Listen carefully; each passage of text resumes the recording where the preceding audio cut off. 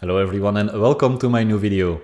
Lego has announced a brand new set that I know a lot of Lego Star Wars enthusiasts are already waiting for for a very long time. I'm of course talking about the buildable C-3PO, which is set 75398. Now let's at first have a look at the exact details of the set. It has a price point of $139.99 in the US and 139.99 euros in Europe. Our friends over in the UK can add the set to them collection for a price of 124.99 pounds.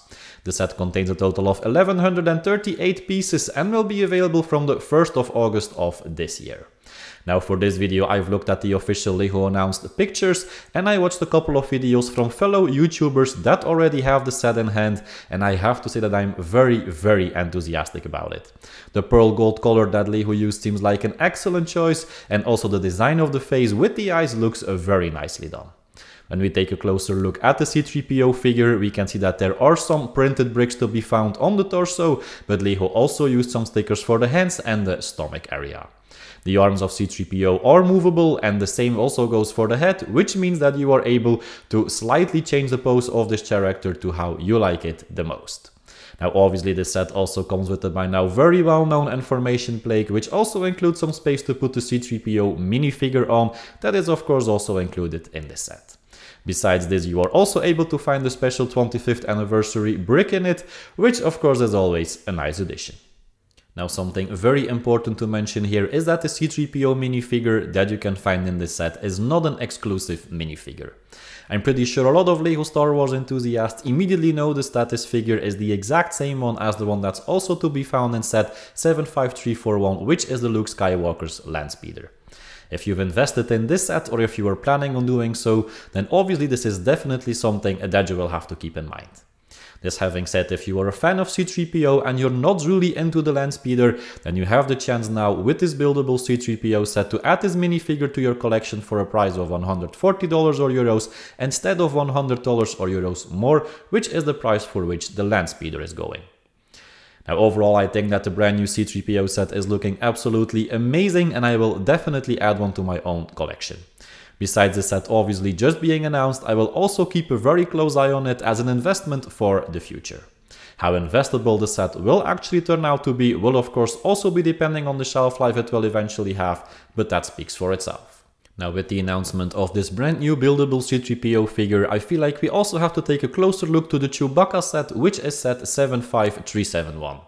This set has been released on the market in September of 2023 and is actually set to retire by the end of 2024. Now a lot of things have been said already about this set and then especially about the facial expression that it has. Now overall the expectation for the set is not being a good investment mainly because of the somewhat funny looking face but I am not sure if I totally agree with that. On its own I can imagine Chewbacca not being the best investment because there are definitely some negative points to address. First of all, I've heard several other builders and collectors mention that the building experience isn't really that fantastic. Besides that, the minifigure included in the set is also not by any means special or exclusive. It's just a basic figure that we've also seen in several other sets and will probably see even a lot more in future sets. Now I kind of feel like this is a little bit of a missed opportunity, a more exclusive minifigure could have definitely given the set some extra appeal. Now just as the C-3PO and also the R2-D2 set, you can find the special information plaque in the set, which is also offering some space to put a Chewbacca minifigure next to it. Now I've mentioned these other sets, I think it's reasonable to say that these other two very good looking figures could definitely help to drive the demand for the Chewbacca set. Also, overall I think the Chewbacca isn't looking that bad. If you're able to look past the funky face, which is not easy, I know. The rest of the figure actually is looking quite well. If you display him together with the C-3PO and the R2-D2, I think you will have a very nice looking display, which is something that a lot of LEGO Star Wars fans will absolutely enjoy. As you've probably noticed in this video, I am an absolute fan of the C-3PO and the R2-D2 sets. At first I wasn't that enthusiastic about the Chewbacca set, for sure not as an investment, but with the release of these other two sets I actually am changing my mind a bit.